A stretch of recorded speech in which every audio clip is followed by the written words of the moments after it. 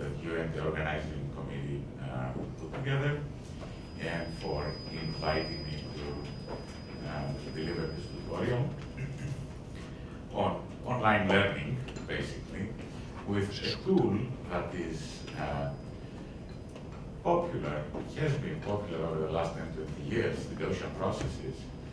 Uh, but our contribution is to come up with an augmented version to, that is ensemble Gaussian processes. And uh, I will try to uh, show some uh, nice applications in signal processing and uh, networking, IoT, and mobile edge computing. So, the, this work is due to a number of people that now are doctors or professors, most of them, except for this last guy, Konstantinos Polyzos, who is still a PhD student, younger. So, feel free to interrupt me anytime you want, uh, and we'll take it. I have more topics and slides than uh, what I can cover, uh, but uh, I will play it adaptive with your questions. Okay? So, here is the motivating context. We have interconnected uh, devices um, that are networked, and this is what people refer to as IoT. What is desired in the design of IoT is real-time processing, scalability, because those networks can be in the millions, robustness and adaptivity to unknown dynamics, as well as safety and uncertainty quantification. This uncertainty quantification uh, in, the in, the rest of the talk will play a major role. And the high-level goal is we want to do online learning. That's the surrogate for real time, with scalability and robustness and adaptivity and YouTube. And I want to demonstrate how this can be helpful for IoT applications and other data-driven learning applications, as well as IoT management through what people like to call either black box or bounded optimization and reinforcement learning. So this is the agenda. So basically, the emphasis of the talk will be on tools and algorithms and notions. But I will demonstrate uh, some of these ideas through uh, real data sets. So I will divide it into two parts, uh, three parts, I'm sorry. The first one will be about Gaussian processes and random features. And the applications will include the monitoring of IoT. Part two will be uh, on the ensemble uh, side and the uh, online, or what people like to call sometimes incremental. Uh, machine learning, uh, people like this, uh, and it is different from the way that we in signal processing call online algorithms, what we call about that, in the sense that sometimes the input-output do not come together, so you do something with a certain input and then nature responds uh, perhaps adversarially with another output. So things are not stationary in general whenever you uh, play with incremental. In the third part, I will try to demonstrate how this notion of Gaussian processes from machine learning can help uh, basic challenging problems in optimization as well, and reinforcement. So let's start with part one. Uh, I will introduce Gaussian processes and deep Gaussian processes and link, links with deep neural networks. But let me start slow and argue that uh, in a bunch of applications you're given a set of data xt, uh, which sometimes we call input, or uh, feature vectors, and output y of t. Here I took it to be scalar, not bold. And capital T is the number of data. This is what uh, we call training data. And my goal is to find a mapping from xt to f of xt. I want to find the mapping f. But sometimes I don't get the the ft, I get noisy versions of it, which we call yt. yt would be ft plus nt, for example. Could be even worse, not additive, could be multiplicative or whatever. So I am after the mapping f.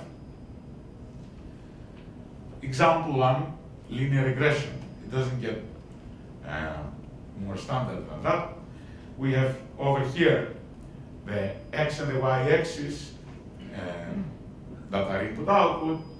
Uh, the dots are, uh, you want to connect the dots and, and draw a curve, a function uh, that minimizes the sum of the squares. And uh, this curve fitting, we know it from high school perhaps, is extremely useful for a number of tasks. For example, temperature, uh, forecasting, and it is a linear function. But not all functions are linear. In fact, the, the weather uh, prediction or the temperature prediction typically involves nonlinear functions. But the problem is like that.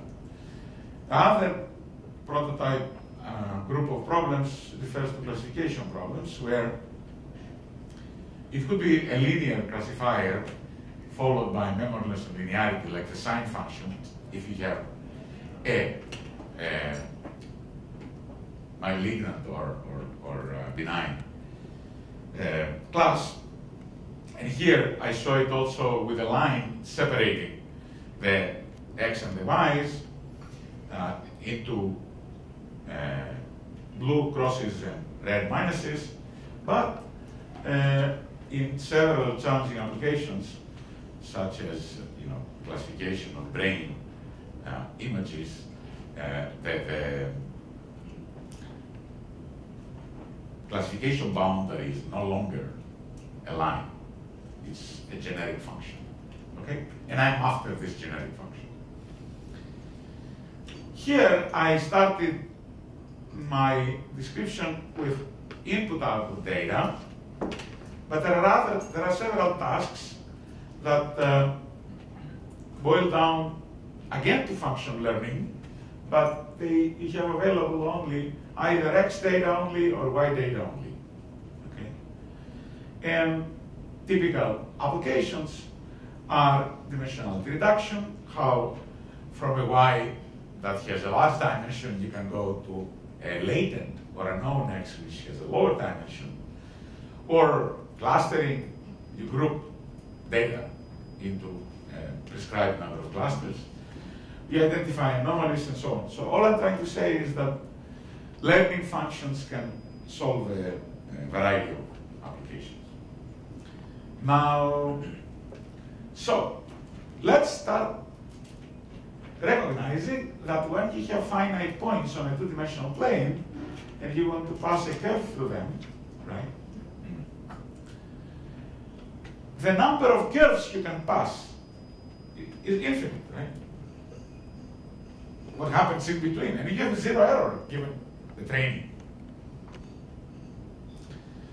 So the problem, in a way, it is ill-posed. It doesn't give a unique solution. So what do you do? In signal processing, people know the tricks. They say, ha, impose bandlimitedness. Okay? And then you can pass a curve through this. And through the reconstruction, reconstruction formula, you know it's unique. And the functions that are the building blocks from the points to the continuous curve are the sinc functions, shifted sinc functions, right? Now, uh, the truth is that oh, other alternatives, I forgot to say, are prior information, regularizer, Tikhonov, and so on and so forth, that can make the problem be well posed. But there is a systematic approach to getting to the, that uh, desirable set of uh, constraints, and this is to postulate that the space of functions f that you are after are expressed as a linear combination of uh, a building blocks or elementary functions that sit on each and every xt point. Pretty much like the sinc function. Okay, so, and this function is called kernel. And we'll deal with these kernels a lot in this talk. And just to tell you that it's not only band limitedness, but it is even RBF, Sobolev space constraints. You don't need to understand that, but I just tell you that other properties, you know, bounded, let's say, to derivatives, uh, welcome kernels that are not uh, sincs, but they are Gaussian bells. See, the Gaussian, this Gaussian bell sits exactly at xt. You superimpose Gaussian bells. Okay. You can prove this you know, forms a Hilbert space. And then you can start asking the problem. Okay, I'm given a finite number of data capital T, and I select a cost between the y and the f, and I have a monotonic function omega of what is the norm in the Hilbert space of this function f, and use that as a regularizer. And this guarantees that you can have a well-posed problem. And as an example, let's think least squares. This one is the norm of f minus y, and uh, L2 regularizer, the norm of f squared, and this boils down to what we know as ridge regression, Tikhonov regularization. Okay? Now, I have four questions that will motivate me to talk about an alternative to this beautiful approach that we are. And that, these are the questions. Which kernel is good for me to select? Question number one, critical, right? Uh, what if I have prior information about this function? How that do I incorporate it? And then after I decided these two design parameters, uh, design questions or attributes, the next question is how can I solve this problem efficiently? Okay? We'll come to the problem, to the issue that this problem, the solution, an efficient solution is easier said than done. And then, after I've done that, how do I know how well have I done? So, performance analysis, okay? So all these four questions motivate moving from a deterministic viewpoint of f to a probabilistic or random way, which is what we learn from uh, Bayes' theory. Yes, sir.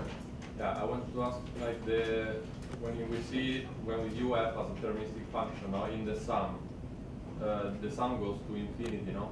So, but why does it does it? Ah, yes, I should have said that. Ah, the question was, uh, although I promised up here to go to infinity, down here, all I have is up to t. So the question is why?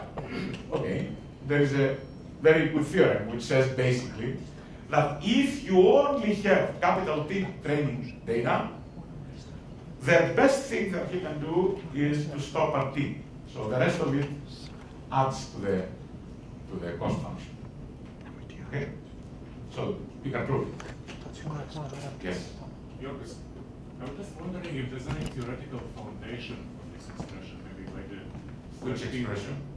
Because what you're trying to show, using the 13th problem, similar to universal approximation theorem. or. Yeah, it is approximation theory, but this is um, what's the name of this theorem that guarantees the eh? representative theorem? So representative theorem.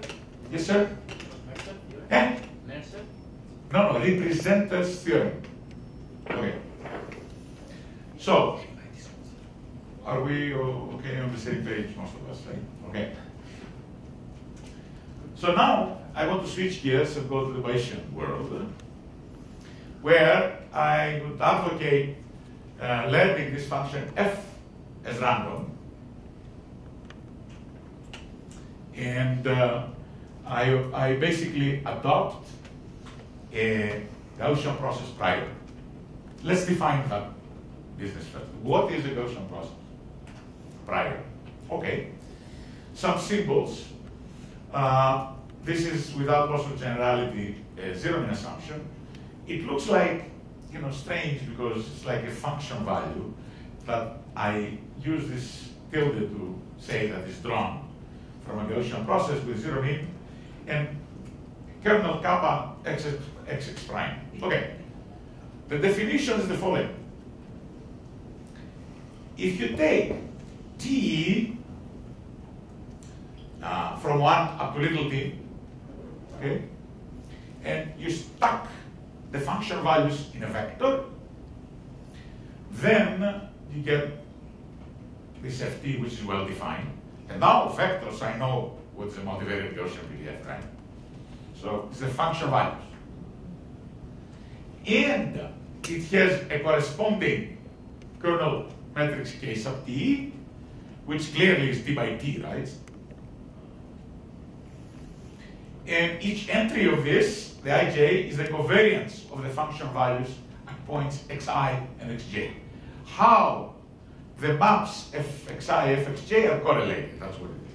But in this definition, for the story to be complete, the most important part is the last little for all t. This should happen for all t.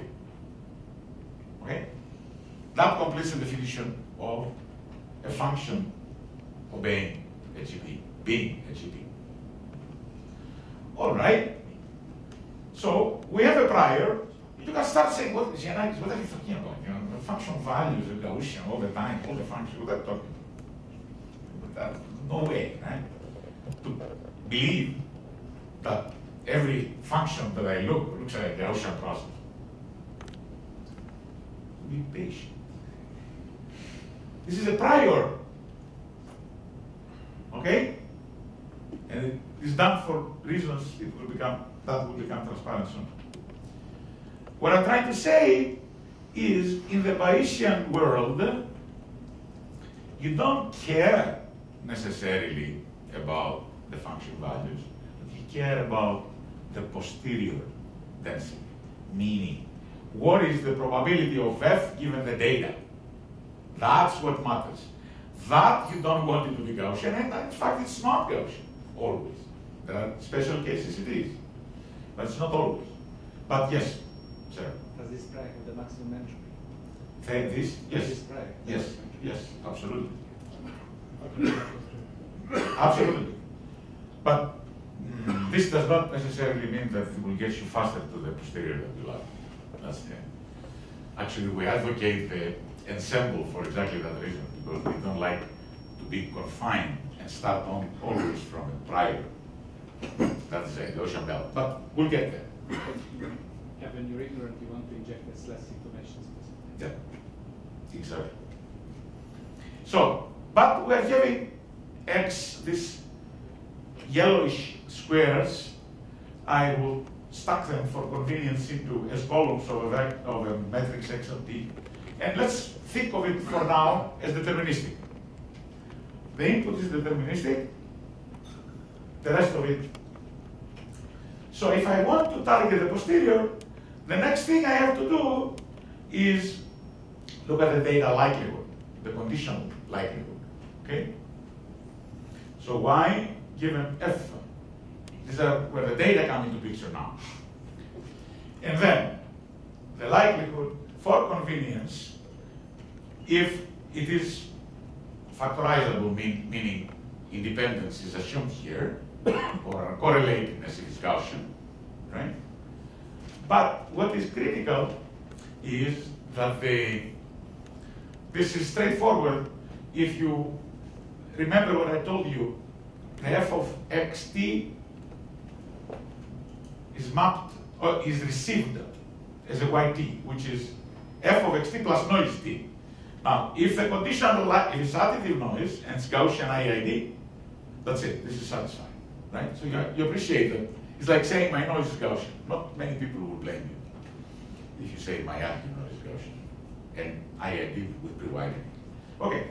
So we have a prior, we have a likelihood, we are ready to fulfill the uh, ultimate goal of GP-based learning. uh, you can learn the posterior of f using Bayes' rule, p of f of t given yt. Notice here I have semicolon xt because I treat it as deterministic. And this is nothing but uh, the, the, the, prior and the conditional likelihood, and the denominator is y, data, right? Does not depend on f. Okay? And this gentleman up here is Mr. Gauss, who is responsible for all this stuff. Right? Okay. Let's now uh, proceed with inference or testing. How this learning proceeds. Suppose that I'm given uh, training data xtyt, now all of them collected, right? And a test input x star. It could be xt plus one, but let's say generically x star could be xt plus three, whatever, right? And I want to infer y star, or to be more Bayesian, uh, you know, obedient to the Bayesian theory, I want the PDF of y star. Very good. We'll proceed in two steps. We start from x star that is given, and my first step is to create the f star, which is the value corresponding to this x star. And it doesn't take, you know, too much to recognize where the correlation of the function values, f1, f2, f3, blah, blah, blah, is helping you. And the matrix kernel, the kernel matrix, which is nothing but the covariance of f, is helping you. Why? Because look straight on this line. You know F1, F2, Ft. Ah, you can infer F star, right, based on correlation. Well, you know, related extrapolation. If you want to follow the mathematics, okay, what you do is the posterior PDF of the function value, you write it as uh, the f star uh, comma f, and then you integrate the f, right? That will give you the star given y, correct? And then this joint, you will write it by Ken Bayes. f star given ft, what I told you. These guys are helping you to do the job. And then p of ft given yt. Let's be careful. This guy is nothing else but the computable posterior. I have already, because I'm outside. I, I, I've known this. And what's the other guy? What I told you. The transition prior, if you like. Why? Because whenever something is Gaussian, then it's not too difficult to, uh, it's like this is, as we will see, the LMMSE of F star, right?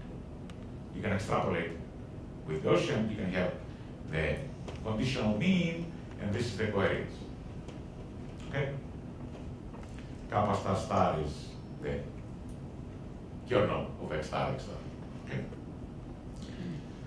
All right, so that's the first step. So we started from here, we managed to get this guy. Okay? Then we are after the y star. So what do we do?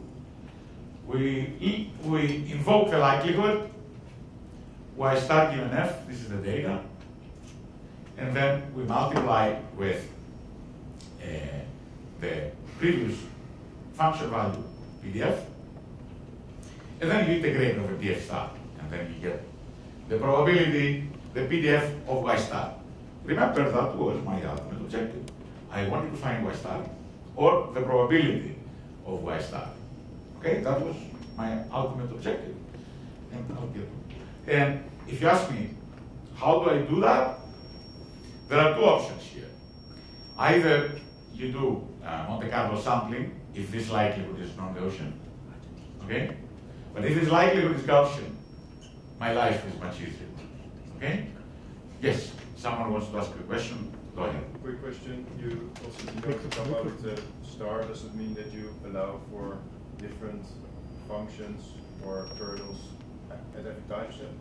No, for the time being, I have only one. Kappa star is a shorthand. Shorthand. Uh, the, the question was, what is kappa star? Kappa star is kappa. You need two pairs, x star or x star. So that's why it has two stars, right? It should be correct. Star star. It's not kappa star or red star. It's kappa star star. two stars.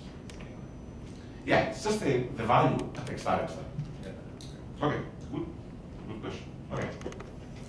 Now, I was at the point where I said, this is, okay, I wrote down everything, convinced you that it's a viable theory, but you know, these things are integrate, uh, I have to integrate this business by a factor that grows every time I collect another T or, right? So this would be easier said than done, the first part. And likewise for the second one, at least the second one is scalar, if I am after a scalar thing. Okay? Someone wants to ask something else? We're good. Okay. So let's talk about regression.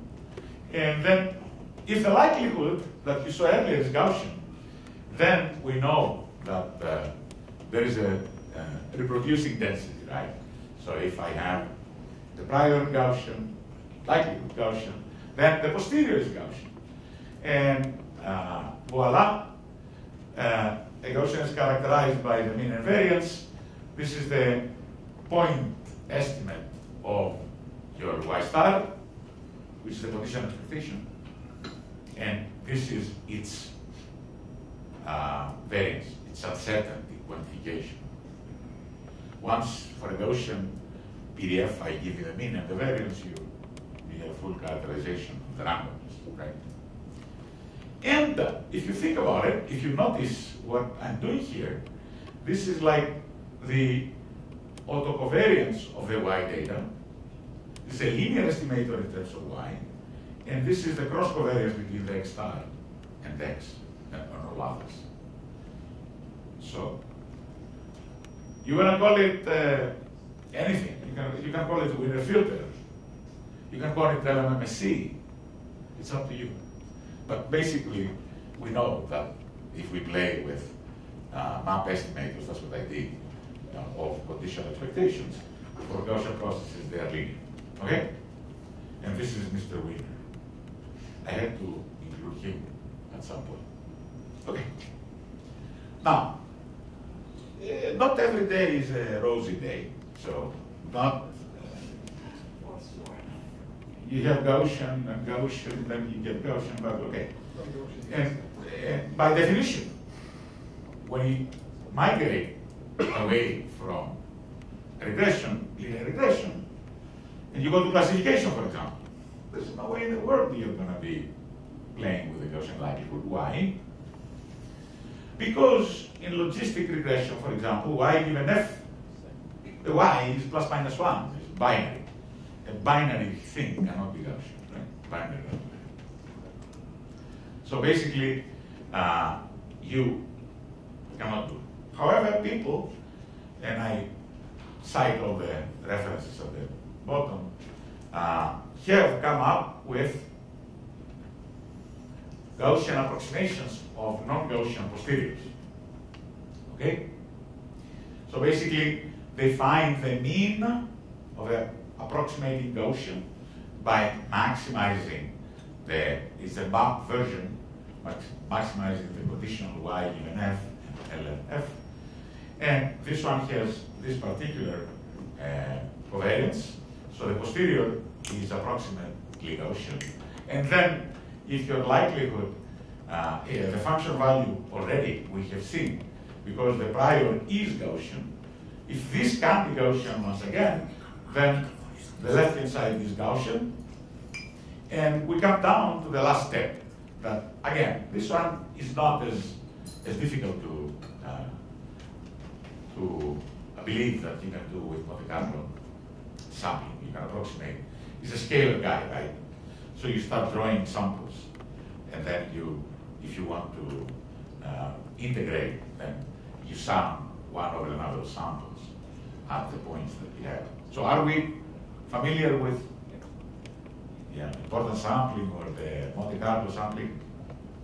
Okay, so I don't need to elaborate. It can be numerically easily handled. Okay, okay. so so far I told you what is Gaussian process. And I told you uh, how it manifests itself in a, a, linear prediction problem or prediction problem in general, uh, or regression problem. even if its nonlinear regression and uh, classification as well, right? Now, I want to tell you something that you will be surprised that the deterministic viewpoint does not have. Okay? I make an argument because all of these things I forgot to say, incidentally, I should have pointed out that the LMMSE expression in the Gaussian case is identical to the ridge regression. It's another formulation.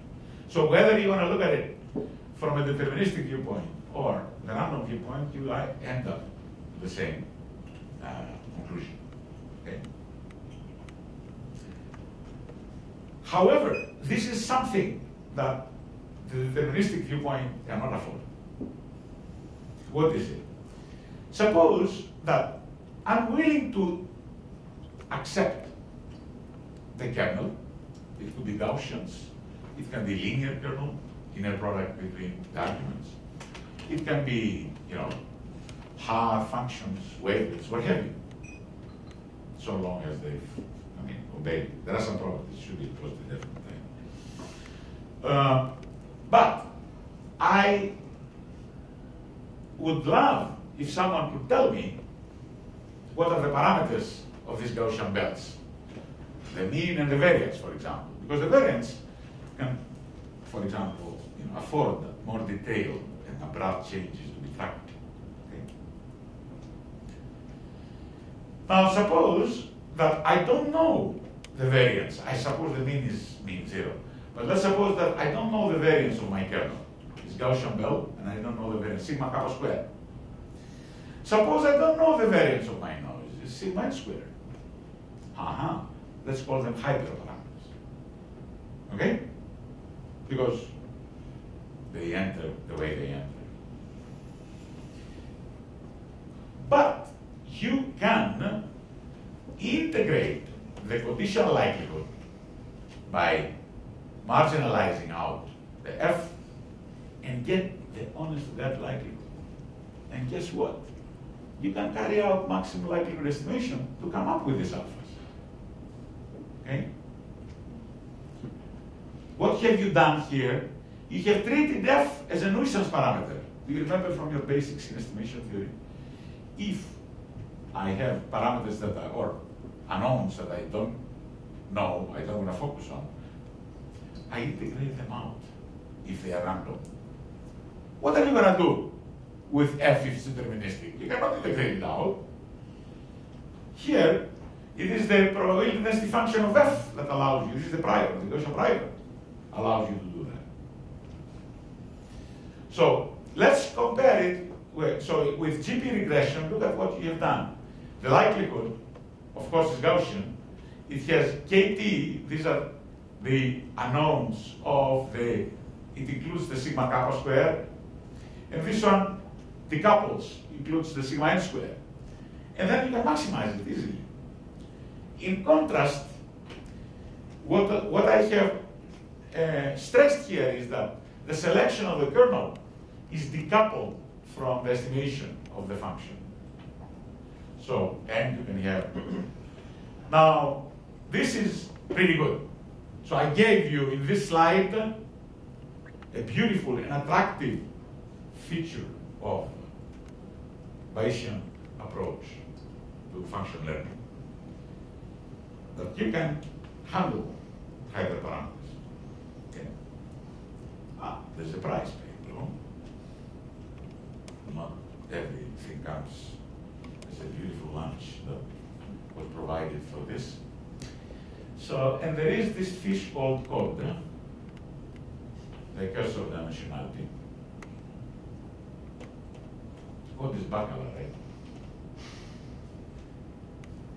So, we see here that both the conditional expectation of the LMMSE or the mean is a linear function of YTE, and very good, we have the uh, variance expression quantification, but look at this inverse. And remember that when you start collecting T, these matrices grow in dimension. But sometimes you need to have millions or billions of training sets for learning tasks. So what are you going to do with this O D cube complexity? And the storage, even if you are symmetric positive definite, it is quadratic storage of these matrices. Okay? So, and in this thing that I mentioned, again, uh, you have a curse of dimensionality. The, the, the likelihood has a covariance that uh, is d by t. And you need to invert it. Ah, I forgot to say, if you want to go through the deterministic approach to find the hyperparameters, the problem is definitely not convex. Because you are trying to minimize uh, the, you are inside the KT and you multiply with KT, right? So that's an unconvex problem. So this one is decoupled, so that's the beauty. Okay.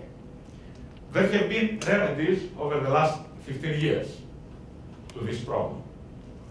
And I list uh, a number of representative ones. Eh?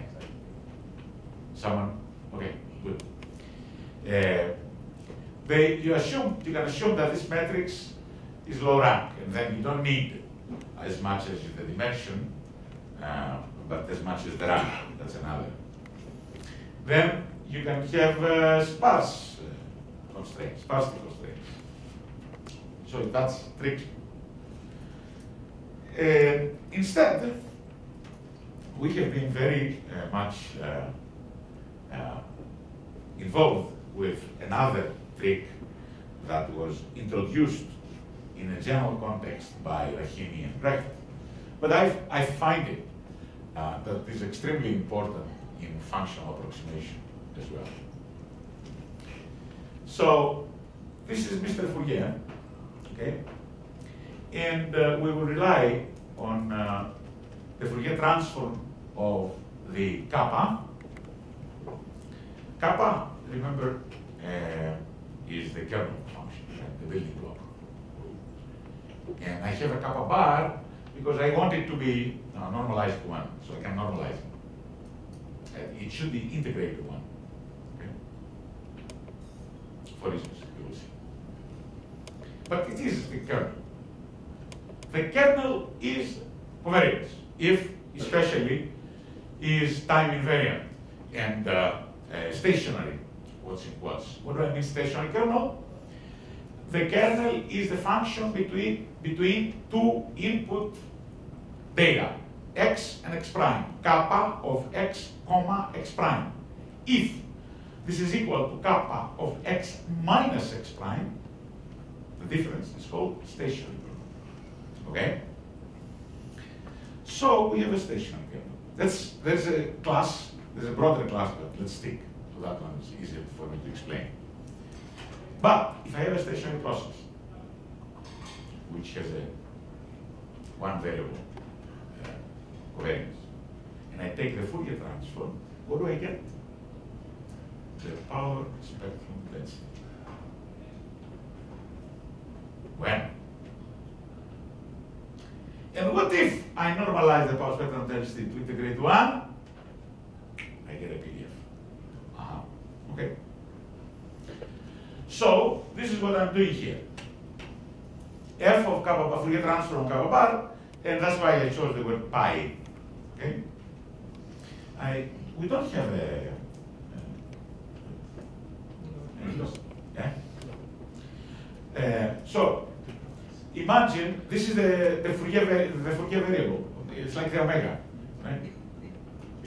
Frequency, but it's a vector frequency. So now, once you have a PDF, suppose that we have the Gaussian bell. Gaussian, Fourier transform of a Gaussian is Gaussian, right? Remember that from signals and systems. And uh, I can draw samples from the Gaussian PDF. We know how to do that, right? With the desired covariance also. And that's what you do. You draw samples. How many? Let's say D. It will turn out that there is a trade-off. But you like D. you draw D. You can afford to draw D, you do so. Okay, then instead of uh, so instead of going so basically after you project these samples onto any x and this is called the random feature vector. Why it's random feature? Because it comes from the random vector v. It's here sine and cosine. Okay? And the most critical part of this guy is that if you take the inner product of this random vector, which has size 2d, because d is the v, and I have sine and cosine version, so 2d. So the, it turns out that if you take the inner product of phi transpose x, phi x, then you can approximate the kernel. Wow. Why it's important, we'll see it in a second.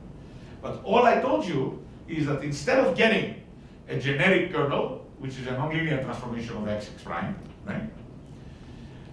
Go through a nonlinear transformation of x first, using sines and cosines and the v, and then take the inner.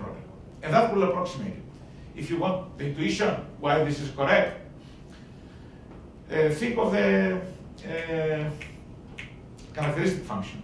It's the expected value of e to the something. Characteristic function and Fourier transform Fourier pairs. A PDF is Fourier pairs, right? So the expected value, which is e to the j something, has a sine and a cosine. If you take the inner product, you do a sample average over the vectors, over the d vectors, and if the sample average, if d is large enough, the law of large numbers will get us to a, to a, to a expected value. I, just tried to give you some intuition why this uh, kappa check is a reasonably uh, good approximation of the kappa. Now, what's the key idea? The key idea is that we have uh, we can prove very easily that uh, if you start with a vector theta, which is drawn from a Gaussian distribution, and you take the inner product with these random features, you get an f check, it's an approximation of f, that is Gaussian. Why? Because theta is Gaussian. I told you x, think of it as Gaussian after you drop the v. Then linear combination, it's Gaussian for sure. So the question is, what's the covariance? Ah, okay, the covariance of this, if you take the expected value of theta theta transpose, you will get the identity, and then phi will show up and QED. I prove to you that this model F check is a Gaussian process with this covariance, which it can be estimated. Okay? Say, well, what are we playing here? Little exercises. You want to observe something here that the approximant is parametric. Okay. From your uh, basics or estimation theory or spectrum estimation, whatever you remember, what is the difference between parametric and non-parametric? Someone tells you, I ask these questions. What is the difference between parametric estimation approach and non-parametric estimation? And do we have volunteers, not the professors that teach? Volunteers. Yes, sir. Bonucci. Francesco Binucci. Binucci. Bonucci is a, uh, top player, right? Left, left defender. Binucci. Exactly. Yes, sir. In a parametric estimation approach, uh, I am supposed to have uh, a known form for my function, which depends on some parameters, Uh, and I try to learn uh, the optimal values of uh, these Yeah. parameters. Yeah. parameters. While in a non while in a in a non-parametric approach, uh, I uh, want to learn uh, mm, the structure of the function. Yeah, but let's be fair. In the parametric, you you have to commit that the model you select. Let's not take everything. But I wanted to ask you whether, if we take out the accuracy of the model, can you tell me, from a computational perspective, which one would you love to deal with, to play with? with the parametric model. Why? Because uh, uh, in a parametric model, if I have a finite set, uh, Finite. finite set, Binucci. I'm Italian, sorry. finite, fine, uh, Yes, finite right. set to learn, uh, maybe uh, if uh, it has a fixed uh, low cardinality, Let me, let me make it easier. You're correct. You, you got the point. The easier way of saying it is that as I collect more data, as t increases, the number of unknowns in the parametric stay the same. In the non-parametric, they grow. And this was the problem, the chaos of dimensionality that we were talking about. Okay, very good. So let's see what's happening here with this F check. So that's why we love this approximation. It takes a non-parametric problem fundamentally, which is function estimation, GP based. It takes a non-parametric model and maps it to parametric. It's an approximation, granted. That's beautiful approximation. And this one shows that if you look at the prior of f check, not the original prior, it's basically zero mean, and it has a, it has a 2D rank approximation of the phi phi transpose, and this phi matrix has size uh, 2D by uh, by t. Okay, so the rank is 2D. So it's definitely we're gonna gain. Okay. So, RF-driven parametric GPUs. So vanilla GP, we already, I'm doing a review here. RF-based basically, you have a nonlinear map, right? And then you have a linear parameter. The parameter now, theta, is Gaussian. Then, in the first one, you're looking for the posterior of y, given f. Now you're looking at the posterior of y given theta, and x. Okay? So, here is the batch GPR uh, predictor. And for those of you that don't remember the recursive squares, uh, the, the, the basic trick over here is that you can use the matrix inversion lemma, and if one of your dimensions is shorter than the other, like 2D for example, is shorter than t, then you can take advantage and instead of having a t by t, you can have to infer, you have a Uh, d by d. So the complexity now is linear in d, not cubic, and it's cubic in d. And d is up to you. You can afford 100, 100. You can afford 10, 10. Of course, your approximation may not be as good. Because remember, the story here is that f check depends on how good is your approximation through the kernel. But at least you are scalable. Okay. But uh, scalable, when, t grows then more than 2d. Yes, sir. Is there any way to quantify how close you are with approximation of d?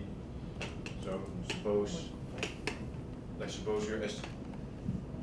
So suppose you're estimating a certain function or group of functions, and we try it with a certain d, then of course we do not know how close you are, but suppose we do know the function that we are trying to estimate. I Can you work out something Yes. like how close are you? I don't, I have not done it now, but intuitively, yes. Why? Because you have to resort to asymptotics. Both of them are large enough. But you can make claims that d would be order of this relative to t. That you can make stay. Because it's it boils down to the law of large numbers. Yeah. There is another trick that I'm going to do. I'm sure that if I continue this, this way, we're going to have a third meeting. but uh, it's better we, we have fun than even cover me. Uh, what I was saying. Anyways, I forgot. I'll remember. Yeah. So, the next thing that I want to stress is that uh, you can expect these things already by their forms and their similarity to recursive squares and LMMSE. There should be an online version of it, right? And sure enough, actually, not only online, but we're going to call it uh, in, incremental because it's like learning the function incrementally. Okay? Doesn't have to be time, in other words. And uh, the nature can give some y that does not obey the. So you have to take a decision before and then correct it. Okay, so the blue ovals are uh, uh, posteriors and the others are predictive PDFs. Right? So basically, now that we are with RF-based learning, random feature-based, so uh, when someone gives me an xt plus one, I can take, if I know everything to time t, and I'm getting xt plus one, I can predict the yt plus one given yt. Okay, this is like the uh, predictive PDF. And then, uh, if you give me the yt plus one, then I can, oh, I should have said how I compute this predictive PDF. The predictive PDF, you can imagine, right, is yt plus 1, comma theta, and then you use Bayes rule, integrate over theta, you get only the yt plus 1, right? Is that clear? On this predictive. So you can find the predictive. So you form a prediction of what's coming up. And then the y comes and you correct, you adjust yourself. So, uh, and then if you're, uh, if you're talking about Gaussian pro process regression, then you can do everything in closed form. So you start from the posterior up to t. You have an estimate of theta hat t and its covariance sigma sub t. And then you get a normal uh, predictive PDF. Now uh, your prediction, the predictor is linear, and it has a quantifiable uh, covariance.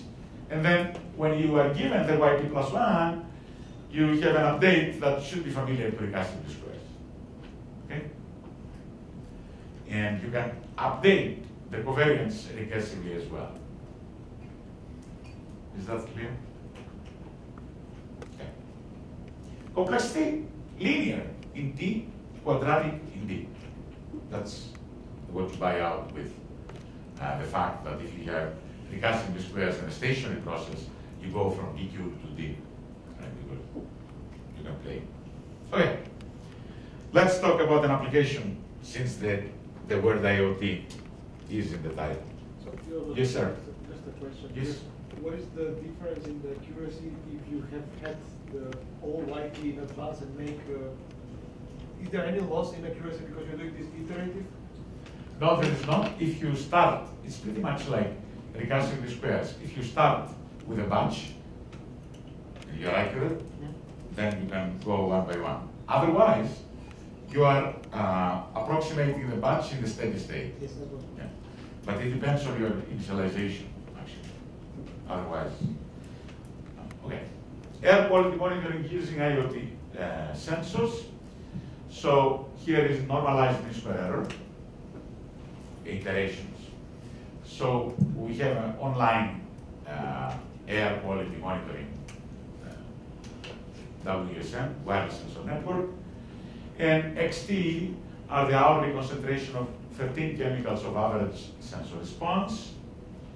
Then these are some of the things that uh, you don't like, uh, nitrogen dioxide.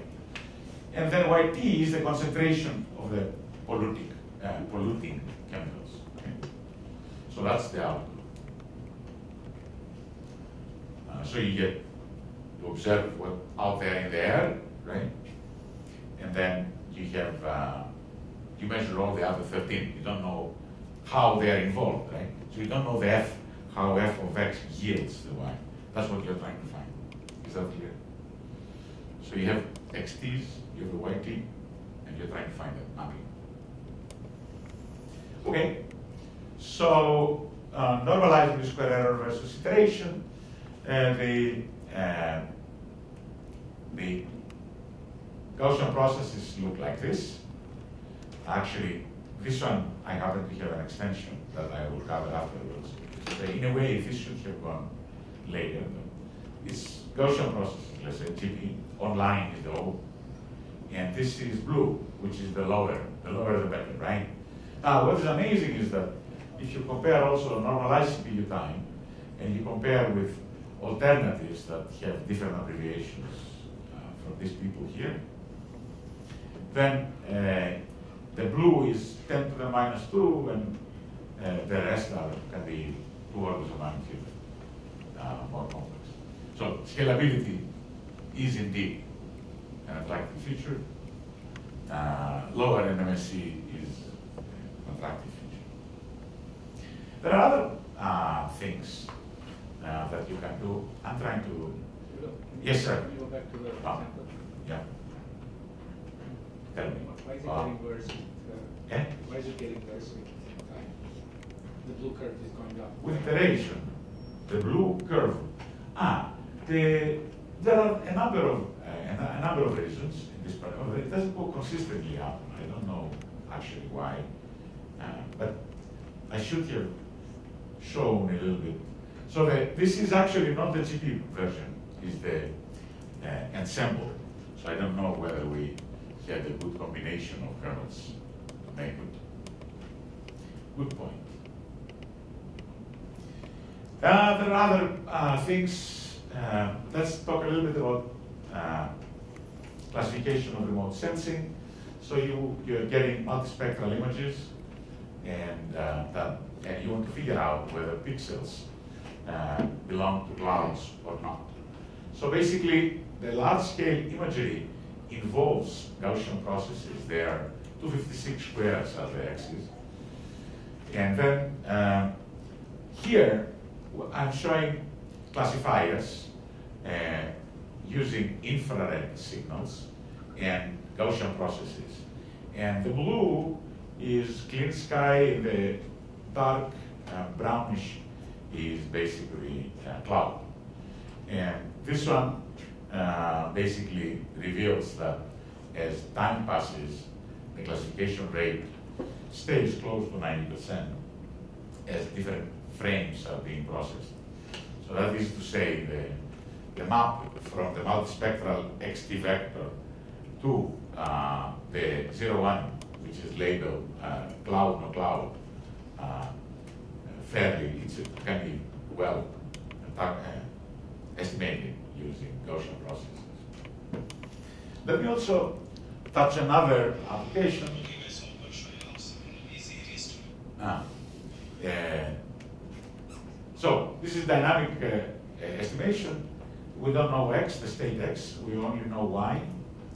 And uh, given observations y, you want to estimate x, which is offline, and uh, use you can use GP models for f and g. So this is basically uh, an exciting robotics application. So Gaussian process models can extrapolate and interpolate missing data. Whenever I tell you what's the function, it's not only extrapolation, but it's also interpolation that you can do. And uh, then I'll talk about dynamics later on, but here, for example, what you want to notice is that these are Gaussian curls and linear curls. Okay, so uh, the blue dots are state estimates, and the green dots are state prediction. And uh, uh, basically, the, the, the different uh, states are uh, measurements that are recorded at different parts of the body of an individual, of a robot. And uh, you can uh, figure out the trajectory that it follows and um, make adjustments accordingly. Well, uh, have a little bit more. yeah. We advocated Gaussian processes as uh, and Bayesian approaches to function estimation, then we saw that there is a possibility that uh,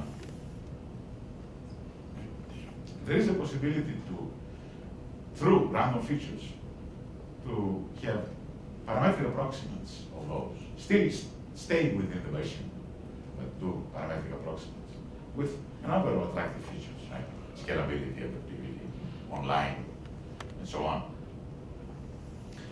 But uh, the last 10 years almost now, everybody talks about deep neural networks, which are primarily uh, parametric function estimation, estimators. Right? So, yes, we have those. And uh, just to establish some notation and make some claims on their relationship. Okay, so the first layer, layer number one, has a linear combination. dx is the dimensionality of x. Linear combination of x inputs uh, with w and n. And then it can have some biases, b, nu, n. Superscript always will be uh, used to denote the layer. So here we have in the first layer. Okay? So you have a linear combination and a affine combination of the input x. Okay?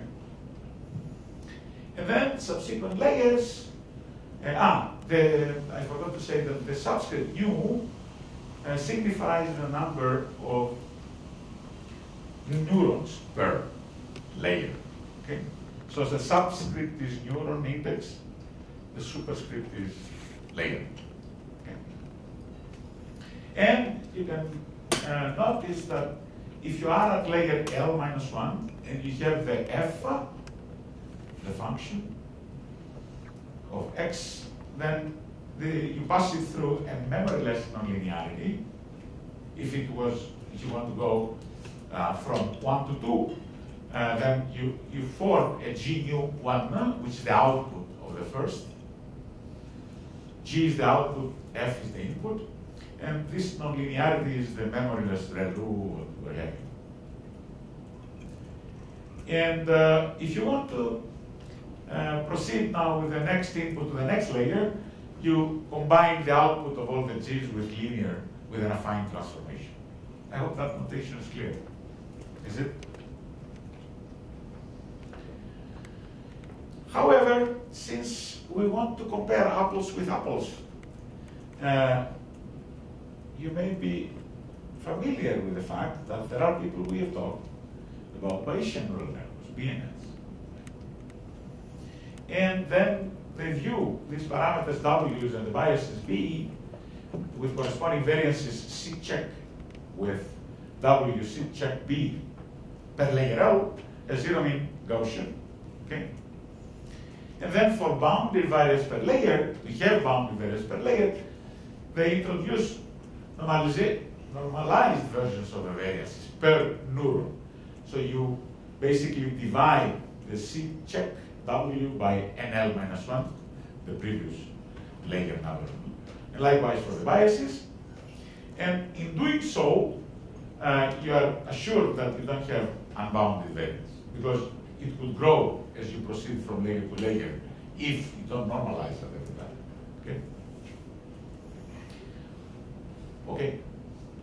So here is the uh, what makes a Gaussian BNN. The linear com combining coefficients and the biases are uh, Gaussian distributed with a corresponding uh, covariances. Here is where everything started in this direction back in 1996. So Mr. Neal uh, proved that if you have two layers and if this outputs of it of the first layer has bounded variance, then as you make the number of neurons of the first layer to grow, this output from the second layer, I'm sorry, the output uh, will, after the nonlinearity, I guess, no, this one should be, the output should be G, right? Uh-huh. No? I see, okay. Yeah. If we, let me just go to the previous to remember. Ah, okay. So G2 is after, is the output, right? The G2 is always the output, but we have to do the G1. Okay. All right? So uh, the G1 has boundary variance, and the, this is, should be the input to the next one. After passing it through a nonlinearity, then it converges in distribution to a zero mean GP with this covariance matrix. And correlated from neuron to neuron, so there's no correlation. And per neuron, you have an expected value or a covariance, if you like, or a kernel, if you like. Can think now where I'm going. That depends on the memoryless nonlinearity and the affine transformation of it. Okay? Think a little bit. What you're doing is basically a linear combination of things. If you start with any PDF and you do many linear combinations, you're going to go to Gaussian. That doesn't take rocket science. You need to have boundary variance. So, there's a law of large numbers. And, uh, but that's, that's great, right? That adds credibility to a GP.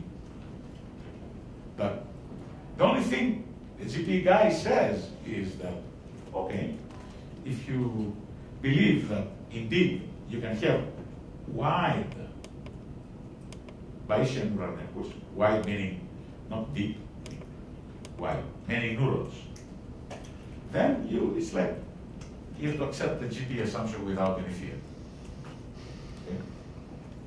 Okay, the sketch of the proof I said, L equals 2, Gaussian BNN, I said all this. Central limit theorem, uh, Sn1 goes to infinity, Gaussian PDF with mean and variance, okay? For L equals 2, the 1 is a linear combination. So we have uh, W being Gaussian, the X linear combination, this F1 is Gaussian. Okay? Then we take F1, which is Gaussian, remember there's linearity, this is non-Gaussian. But again, because I sum it and average it, again, I can send it to, uh, if I, I, send N1 to infinity, then again I'm going to get a Gaussian. Okay? Clear? Likewise, if you have T training vectors, you can make analogous uh, assumptions. So uh, the kernels can be computed recursively, that's another thing, but uh, so the question is you have finite NL. So how many finite number of neurons per layer L?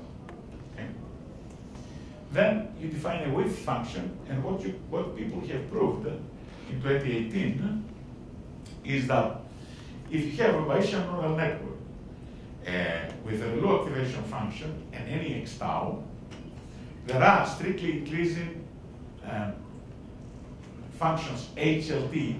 So basically, HLT is a number of neurons uh, that you need to increase as you increase uh, T. Okay?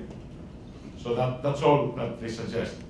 So then as T goes to infinity, you can argue that the neural network output converges to a GP with kernel that has this epsilon is basically the W uh, H plus the X plus B after the nonlinearity. Okay? So here's an empirical comparison. I, I don't want to go through because I'm already too. What, what I want to make here is that there are people who have devised metrics. This one is called maximum mean discrepancy metric. And basically, what you want to do is you want to compare the y, the PDF of y that comes out of the Bayesian neural network and that, that comes out of the Gaussian process. And if these two are close, because they call mean discrepancy, there's an expected value here, GY, expected value, Y. One is GP, the other is BNN. And then the supremum is the maximum discrepancy. So it turns out that this maximum discrepancy, because here's expected values, it can be computed by sample averages. Okay?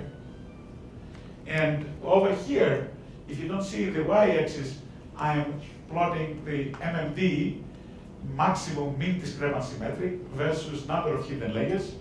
And what you see here are three cases.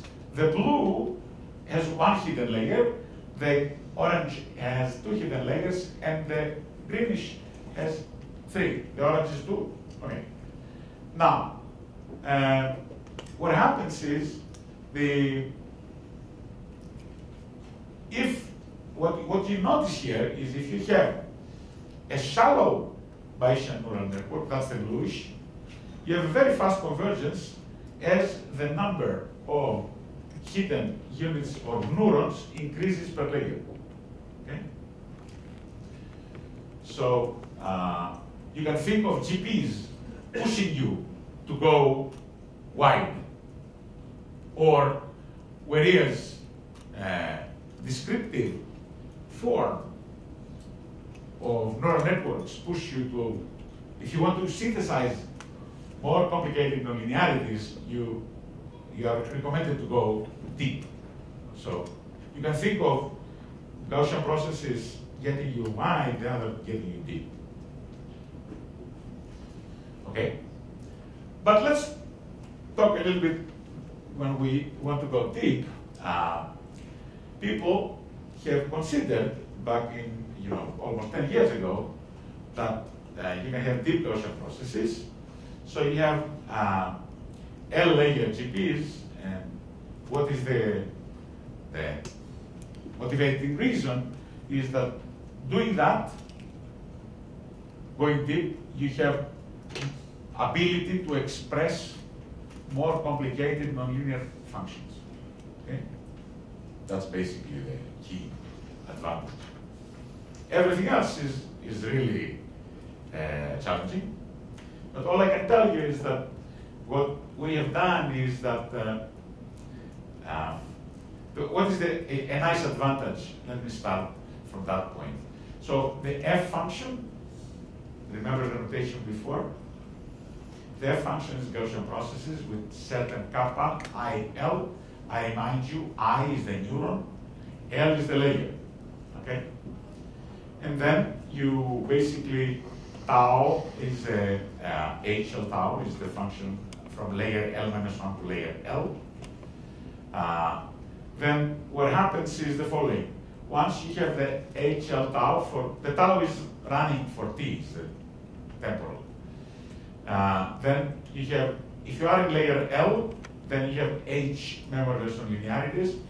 Then if you can stack all the T, all the tau from 1 up to T, you get a matrix HLT, and your initialization is the XT, which is the input. Now, here is your prior. It's a DGP prior, which you can clearly recognize that is non-Gaussian, because you uh, can uh, express it successively applying Bayes' rule as this product, uh, layer after layer after layer. This is after capital L layers. And the likelihood, again, can be assumed to be trackable, but it is intractable because you look at what you have to integrate here.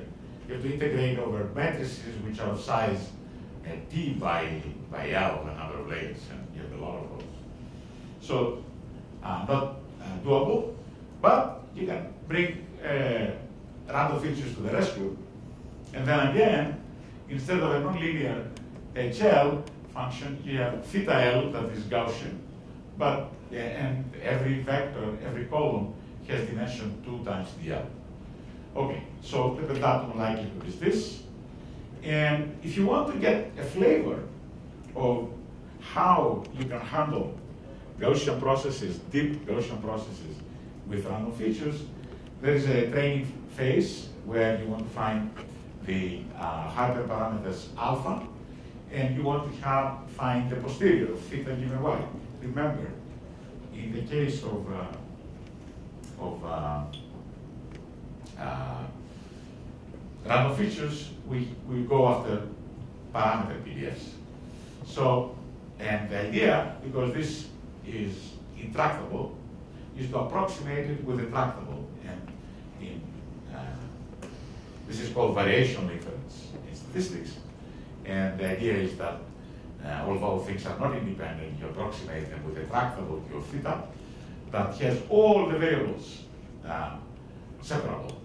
So separable with respect to layers, you have a product over layers, you have a product over neurons per layer, and you have a product from dimension uh, D. That because remember we have a, a feature, we have a random feature here. But if you do all this, then you can, uh, because this one is Gaussian, you can formulate uh, this is likelihood and this is prior, and use stochastic optimization to uh, estimate all the parameters that you so desire.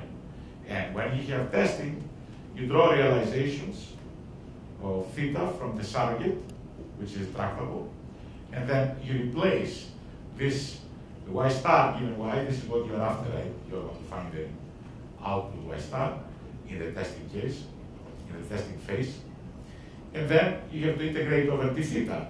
But look at how much simpler it becomes when you have univariate PDFs and you draw runs or draws from a Gaussian PDF and you sum it up. So basically, this is what facilitates the. Now, let me show you uh, how uh, you can test for using deep uh, Gaussian processes for regression. This is a power plant. The X here is the ambient uh, measurements like the pressure, the humidity, the temperature, blah, blah, blah. And then the output is the electric uh, energy output. So the number of samples is about 10,000, and the dimension here, the x, is 4. So uh, what I show here is the root mean square error versus runtime. And here, obviously, the lower the better. The red one, which is the lower, is uh, deep Gaussian processes. The adopted kernel is radial basis function. And uh, what is shown here is the negative log likelihood.